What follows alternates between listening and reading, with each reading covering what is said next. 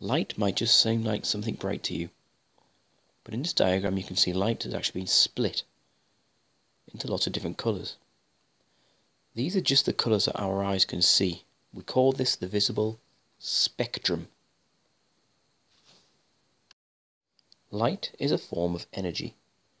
It travels from a source, which is in this case a torch, and electrical energy travels in straight lines always in straight lines. Sometimes we can force light to travel in a different direction.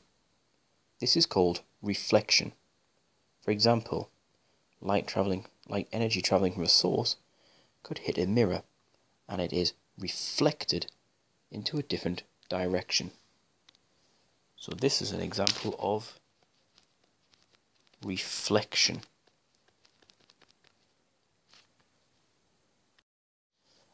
Sometimes light energy travels in a straight line and passes through an object, such as glass.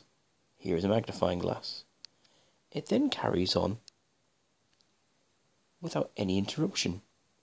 This energy has been transmitted.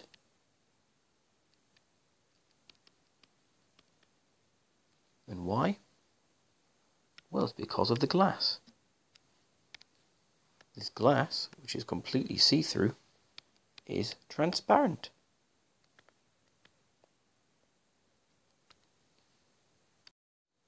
If you think back to the beginning of this video, I showed you the visible spectrum of light.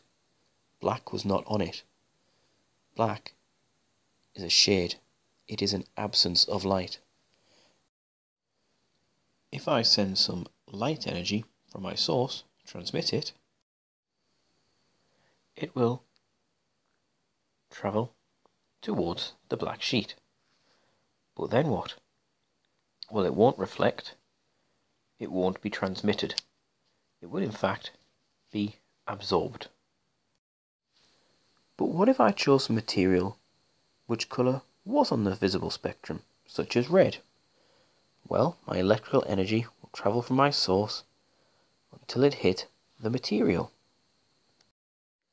Some of the energy would in fact reflect.